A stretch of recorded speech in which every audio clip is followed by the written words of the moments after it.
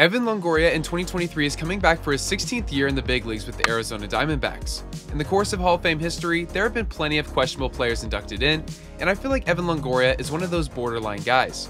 He's not a first ballot shoo in, and he doesn't have a 0% chance either. Evan Longoria for his career is a three time All Star, three time Gold Glove winner, Silver Slugger, and Rookie of the Year winner. He doesn't overwhelm you with the amount of awards he's garnered throughout his career, but he does have some incredible career stats a 120 OPS plus, 806 OPS, 265 average, and 58.1 WAR. I feel like it's still a little bit too close. I think he may need a season or two of above average league play to get to 2,000 hits, as he is just 117 away, as well as hitting 19 more homers to get to 350.